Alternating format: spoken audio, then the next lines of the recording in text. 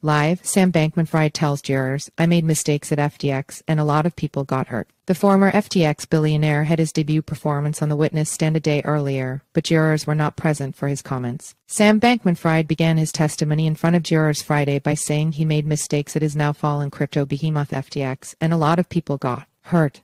The former billionaire had his debut performance on the witness stand a day earlier, but jurors were not present for his comments. His opening comments came after the judge overseeing his criminal trial ruled earlier Friday that his defense can include testimony about the role lawyers played in scrubbing signal chats at FTX. But Judge Lewis Kaplan prohibited the defense from bringing before the jury wide-ranging testimony about FTX's lawyers. I held the hearing yesterday so that I could hear from Mr. Bankman-Fried's mouth what he had to say, Kaplan said Friday. The witness had a shot. This line of questioning was previewed Thursday, after Kaplan sent jurors home for the day. Under questioning from his defense team on Thursday, the former FTX CEO made it clear he wanted to direct blame toward former FTX general counsel Dan Friedberg and outside law firm Fenwick and West. Bankman-Fried argued Thursday he felt comfortable with how FTX was operating because his attorneys had a role in everything from the company's terms of service to the setting up of North Dimension, a subsidiary of Alameda Research, Bankman-Fried's trading firm, intended to secure bank accounts and process payments, but the judge didn't grant advice of counsel defense across all the topics sought by the lawyers defending him now at the former billionaire's trial.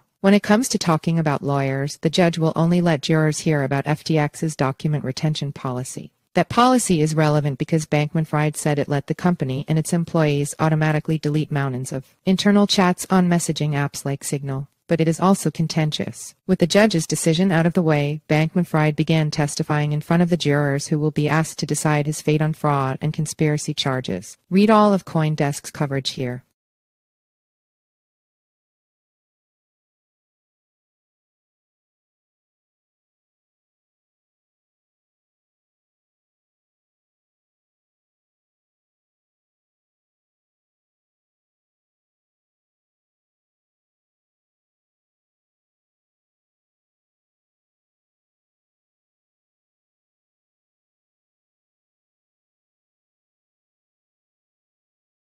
You